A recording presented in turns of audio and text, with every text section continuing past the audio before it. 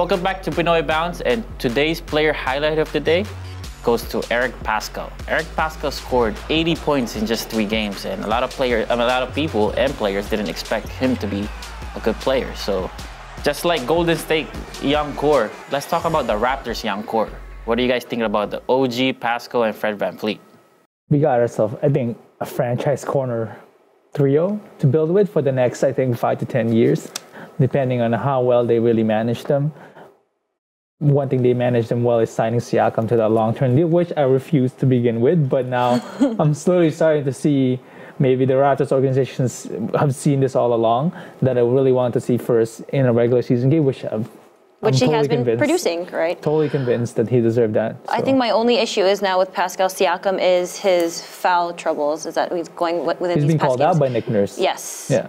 It- So and we can see it too, right? So, Mm-hmm. but practically from in, with every game, including with against the Milwaukee Bucks that they did on like last week on Saturday, he was putting himself in a lot of foul trouble. Mm-hmm. Um, he only got probably I think 16 points, five rebounds, one assist, Mm-hmm. but he was still he could have done more Mm-hmm. if like it wasn't so with what he was like with how he was playing like before like on Saturday and everything too like he could have produced more but it's just so much like defensively he's just getting himself in trouble with I it agree. I so agree.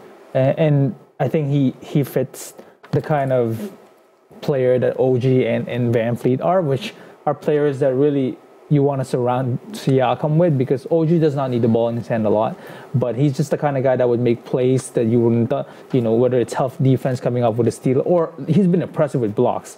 That's Yeah. something that I didn't see in his game until now, and I think it's because his knee is starting to feel a little better, uh, better now, and he's starting to get in more and more of shape. And with VanVleet, I mean, just I mean the size that he has to be able to play the way he does, to be able to finish in the lane.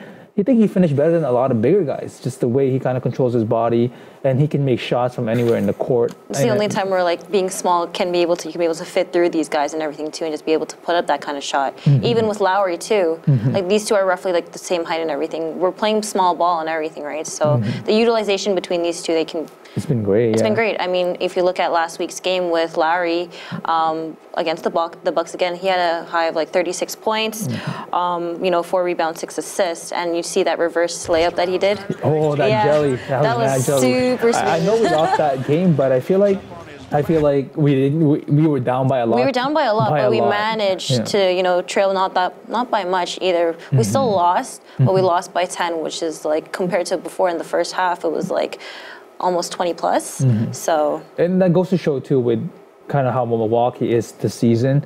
I mean, Giannis is on a mission, but at the same time, we put up a fight, and I think maybe the next few when it matters more in the postseason, I think we can really put up a fight against a team like Milwaukee, depending on how we defend Giannis, and and, and it's Siakam's going to be the big factor in there in terms of whether he can take his game to another level.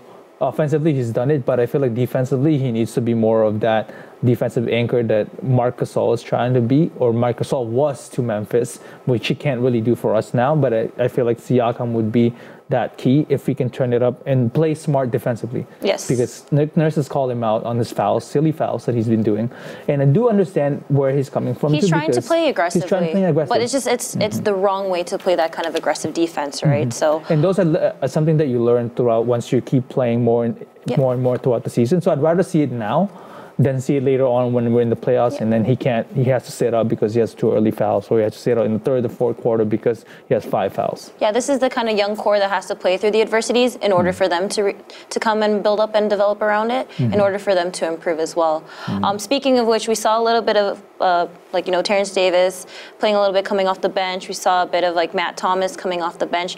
Uh, what do you guys think? Who who will be like a better you know player coming off? Coming from- off the bench. Yeah. I like I like Matt. Like I like his shooting just because he reminded me a little bit of someone that can just come off the bench and just spark for them and be a spark. So uh, who He has those back corner in the day? Yeah, threes. like He has it when- once he's Steve open. Novak was like that for us back in the day too, and, and Terrence Ross is like that for Orlando Magic. So I'd like kind of he's becoming kind of like what we wanted Terrence Ross to be, but more Or- consistent. Or hopefully, if he can be Yeah. Mm-hmm, that next Danny Green for us too, right? So.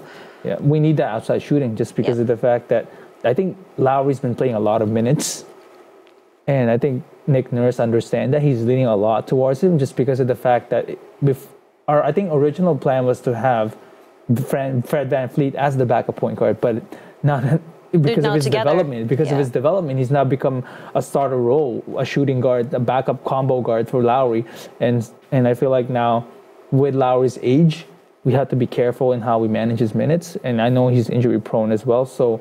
Guys like Terrence Davis, guys like Matt Thomas is going to have to step up so that we can get that time off VanVleet, so then he can kind of switch off of Lowry and Lowry can get some rest.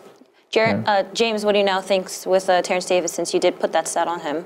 Well, I think there, Terrence Davis is a good pickup from the Raptors, but that's kind of.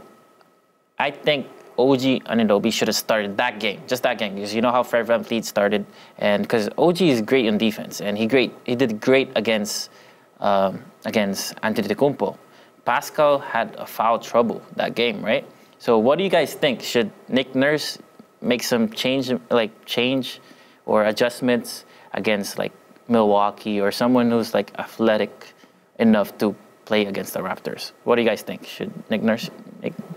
I think with a game like Milwaukee, where they do need that uh, size, but at the same time, someone that can switch off of pick and rolls, I would want to see more of Ibaka, Siakam, OG, OG, Fred, yeah. and, and, and Lowry. Yeah, I think And- Gasol is just. I don't know. too old. I don't know. Yeah, maybe he's, He's too, too old. old, I, yeah. I'm, I honestly think he's still hungover from from championships from FIBA and, and NBA champs. So like, Yeah. I just feel like he's not completely awake right now, Mm-hmm. defensively and offensively. I mean, he's still trying to put up like.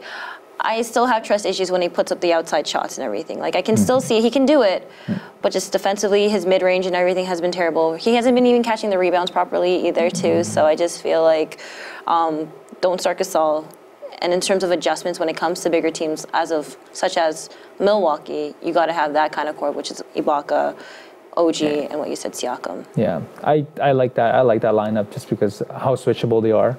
And I think Ibaka is more mobile as a big man to kind of get off of that. He has that defend. Mm-hmm. athletic build too, right? Whereas like Gasol's a little bit more lanky when you see it. So I'm excited. I'm excited for what much more to come for the Raptors because there's so much room for them to grow, and I'm just seeing it more and more.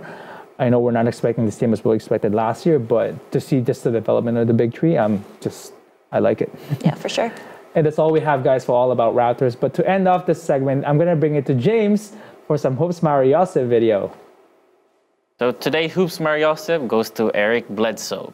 Bledsoe thought he was in the referee inbounding the ball for him, so he just straight up ran almost half court and got a violation out of it. So Oh my gosh.